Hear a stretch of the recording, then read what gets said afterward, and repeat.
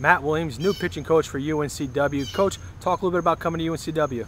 Uh, coming to UNCW, I mean, it's a great, great opportunity over here with the CAA. I mean, competing in that conference, and I mean, UNC Wilmington's always done a great job with Coach Scalf and Coach Hood. I mean, just having a chance to win a championship. Now, you're coming over from a program that had a lot of success in itself in Spartanburg Methodist. Just talk about them going to the uh, Grand Junction for the College World Series. Uh, it's, it's where you want to be that time at the end of the year. Uh, Grand is a great city, and I mean, we were very fortunate in four of my years out of the eight to, to go to Grand Junction and compete for a World Series. Now, you've also had a lot of professional players. Just talk about some of that uh, aspect at Spartanburg Methodist. Uh, we, we, were fortunate to get good players. I mean, one name that comes to mind, I guess, is Heath Hembree. I mean, Heath, Heath's a guy that's really taken off in a Giant system.